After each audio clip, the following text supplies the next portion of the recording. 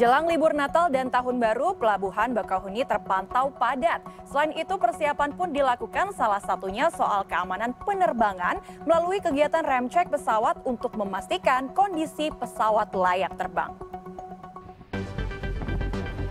Jelang hari Natal dan Tahun Baru, lalu lintas kendaraan yang memasuki Pelabuhan Bakauheni Lampung meningkat signifikan.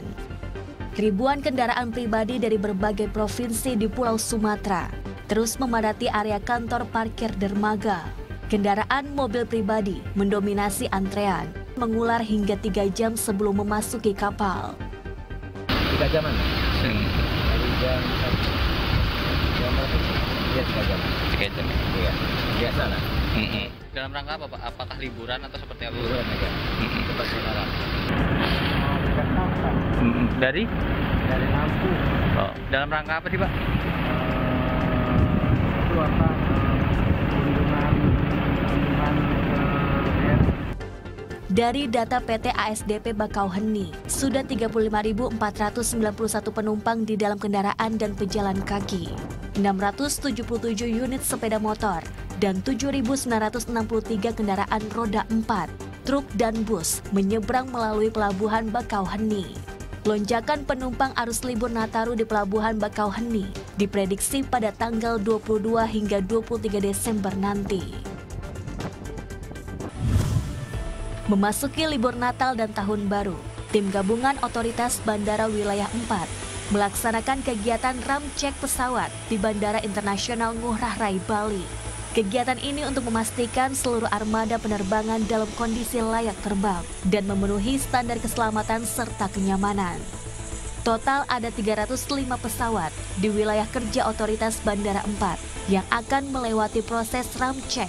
Sedangkan untuk di Bandara Ngurah Rai Bali ada sebanyak 95 pesawat. Proses ram cek akan dilakukan secara bertahap.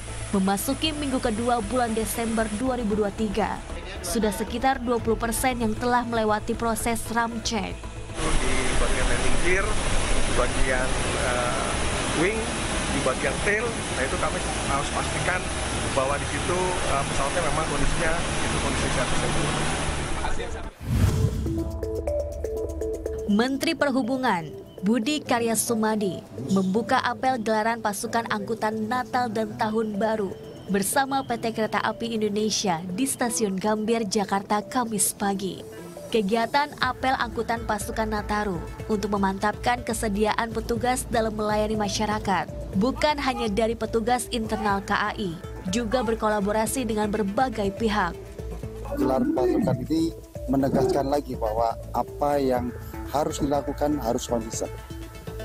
Dan eh, sekali lagi saya minta teman-teman di lapangan bekerja dengan eh, jujur, dengan hati, sehingga layanan yang selama ini sudah bagus nama baik. Ya. Total tiket terjual sekitar 54% dari yang disediakan. Namun PT KAI memprediksi puncak arus mudik Natal dan Tahun Baru akan terjadi pada tanggal 23 Desember. Beberapa simulasi juga digelar guna kesiapsiagaan para petugas di lapangan. Tim Liputan melaporkan untuk NET.